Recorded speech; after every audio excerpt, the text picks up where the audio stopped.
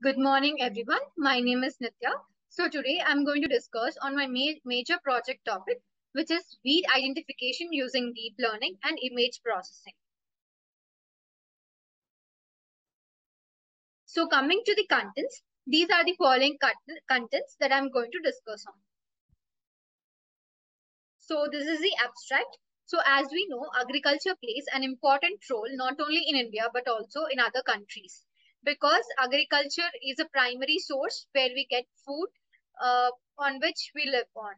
So uh, uh, these days farmers are facing lots of issues. Uh, these issues can be due to uh, bad weather conditions. Uh, there are not proper irrigation facilities and many other and many other reasons. But one such reason among them is weeds. Weeds are nothing but the unwanted plants that are grown in the crop fields. Uh, why we are considering this as one of the reasons for not uh, proper uh, yield? Because uh, these are the plants uh, that try to uh, grow everywhere in the in the crop field which try to consume the necessary amount of nutrition as well as the water that are required by the crops by them. So by this reason the crops that are growing in the same field will not be able to get the proper nutrition as well as the uh, fertilizers or the uh, water that they need from the soil. So it has become a very, very much necessity for the farmers to identify them and, uh, and to remove them to get more yield.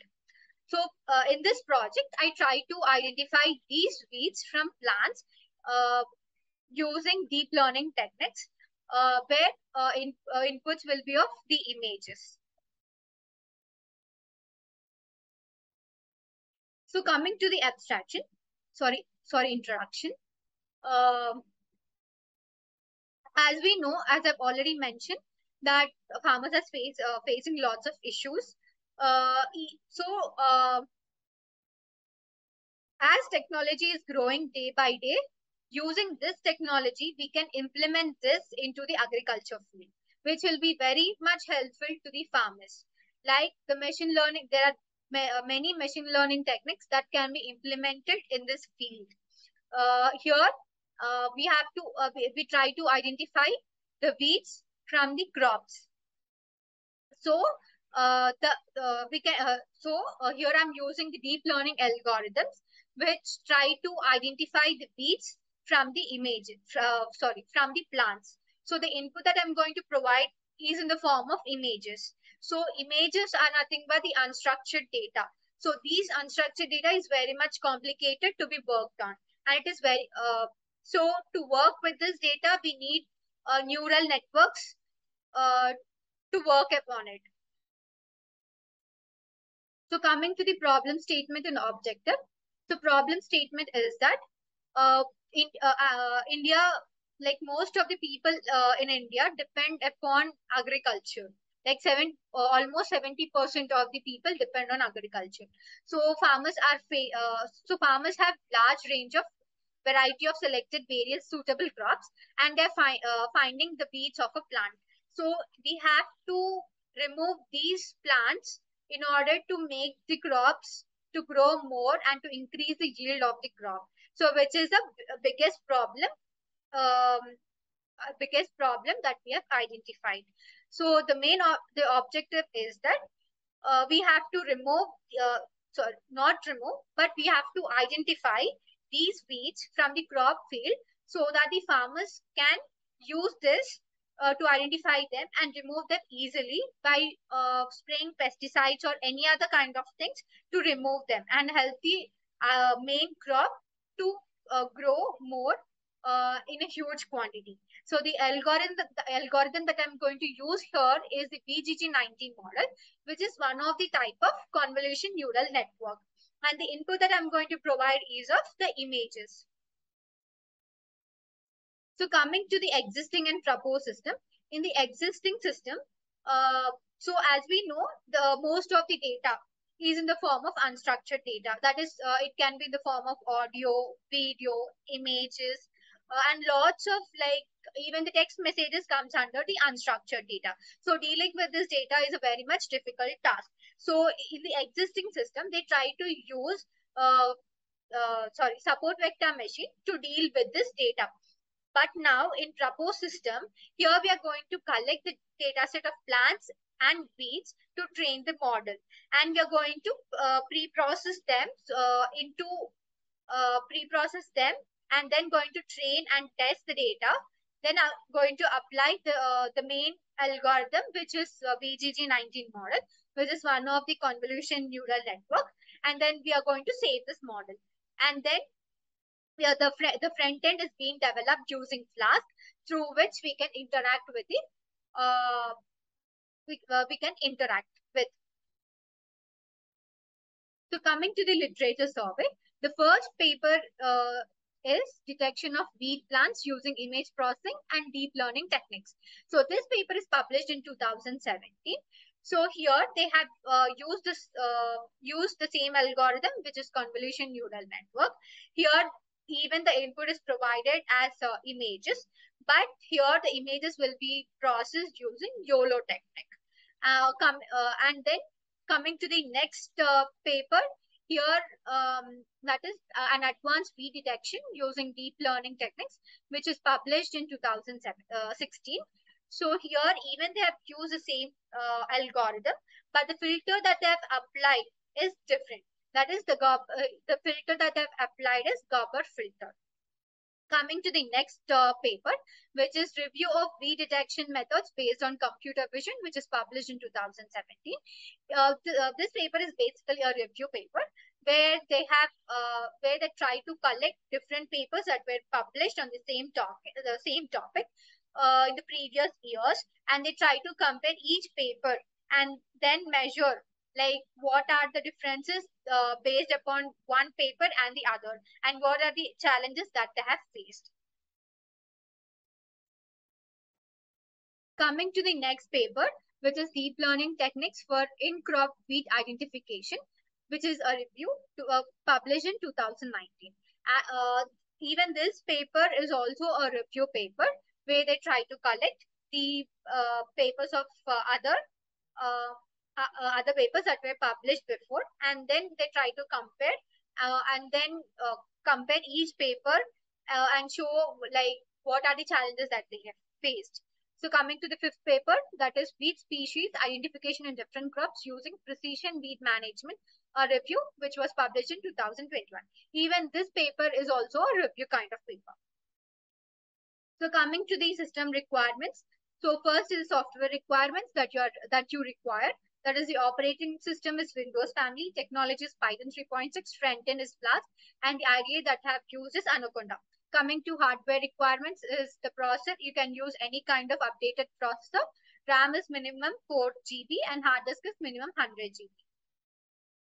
So coming to the uh, uh, architecture, as you can see, this is a, a block diagram, uh, like a flow chart. Uh, it, it describes the step-by-step -step process of the whole uh, project.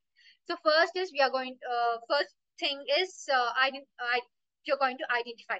That is, you're going to take the images and then pre-process them from uh, uh, that like pre-process nothing but uh, for, uh, uh, is nothing but you're converting the image of RGB into a grayscale and uh, like decreasing the size of the image these all comes under pre-processing. After pre-processing, you're going to uh, like get the important features out of them. And then final step is nothing but the classification. That is, is going to identify whether it is a weed or a plant. So these are the important libraries that I, that I have used in my project. The first one is TensorFlow, uh, which is the basic and the necessary one. Uh, this is mainly used to deal with uh, numerical computations like uh, it will uh, de like there will be a faster dealing with uh, numerical uh, uh, new, uh, numerical values. So, and this was uh, released by Google. So, coming to Keras, it is one of the uh, deep learning uh, library uh, which is uh, developed on top of uh, TensorFlow, which is mainly used for deep learning techniques. And coming to uh, NumPy, it is a library that can be used with arrays uh, like arrays is nothing but as we know uh, an image when it is uh, like the image will be uh, seen as a matrix uh, or an array of image. Like each pixel will be given as a uh, array. Uh, next, coming to Matplotlib. So this library is mainly used for graph uh, uh, plotting the graphs. Next, next one is the Flask. Flask is mainly used for the web development. That is the front end, which is based upon the HTML language. Next, coming to the dataset description. As you can see, there are uh, two pictures over there. The first one is the plant dataset and the second one is the bee dataset. So the uh, main, uh, this dataset is taken from Kaggle. Uh, uh, so a Kaggle and each, uh, like each plant dataset will be in one folder and the, each uh, dataset will be in another folder. Next, coming to image processing, as I've already mentioned, image processing is very much important as uh, because uh, uh, because the RGB images, since it has three channels, that is red, green, and blue, which is of very much complicated to work with. So to uh, minimize this complication, we have to convert this image into grayscale, so uh, which becomes a 2D image. And then we are going to resize this image into 20, uh, 22, sorry, two, 224 by uh, 224. This is the main thing that we that, uh, that we need in this project. The reason that we are going to convert this into this size is I'm go uh, the size is that I will explain the later slide. Next, coming to convolution neural network. Uh, this is a this is the algorithm that we are going to use. So in this convolution neural network, we are going to have three main layers. That is the first is the convolution layer, the second is the pooling layer, and the final one is the fully connected layer. So these are the three main layers where the image is going to be uh, processed upon and then the final output will be displayed. Uh, main uh, and another point is that convolution neural networks mostly work with images and they can also be used with sounds, text, videos and other medias too. So as you can see the following image uh, here, the, as you can see the plant image is provided as the input and it undergoes the first layer as I've mentioned the first layer is the convolution layer, the layer. So this it tries to uh, uh, like reduce the size of the image. So by this way, the as it goes on to the end layer, the complication of the uh, ima image that we have provided will be reduced and it will be very much easier for the fully connected layer to process upon and give the final output. So VGG, coming to VGG19. So this is one of the convolution neural network model. It is one of the type of it. So uh, the name uh, 19 is given because it uses 19, uh, 19 different layers. So th that is the reason it has given as VGG19. And, uh, uh, and, and, and another main reason is that this require an input images of size 20, uh, 224 by 224. That is the main, so this is the main reason why we are going to pre-process our images. So coming to the deployment, as you can see, uh, as uh, this is the uh, front page of my deployment, and this deployment is uh, so this front end is developed using Flask. Uh, yeah, Flask. And uh, as you enter the uh, like give the images of a bead or a plant, then when you click on predict, then it is going to show you the uh, final output that it, it will be uh, whether it is a bead or a normal plant. And uh, conclusion, coming to conclusion. So, uh, like, uh, uh, the whole process is done and the accuracy came out to be of 82% uh, and which can be improved too by uh, like extracting the important features or uh, using using uh, different layers or the kernel that can be applied onto the uh, images that can be of different kind of thing. By this way, uh, we can get uh, or try getting a more accuracy. So coming to future scope, uh, uh, the future scope is that uh, instead of using uh, convolution neural network, we can even focus on using uh, RNN classification, which can be used to extract the important features out of the images and then we can train the model. Uh, next, uh, I will be showing you the, uh, the working of my uh, front end.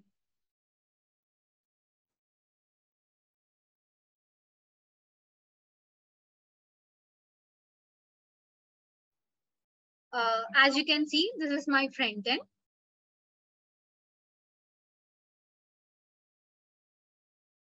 So uh, here we need to upload the image of plants, uh, uh, which we have, we have chosen as a data set.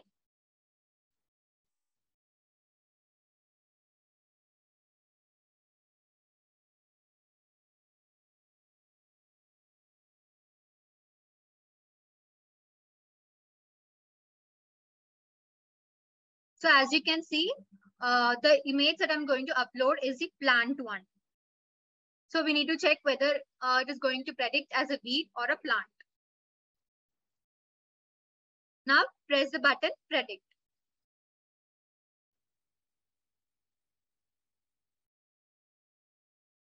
As you can see, it has predicted that it is a normal plant. Now let us try with an, uh, another image of weed. Now again, click on the choose button and select the weed plant.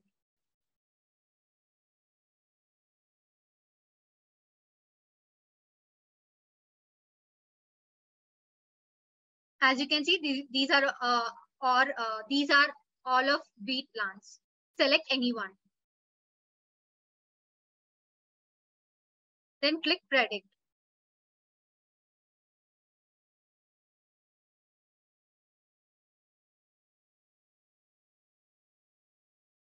So as you can see, it has predicted as it, uh, weed.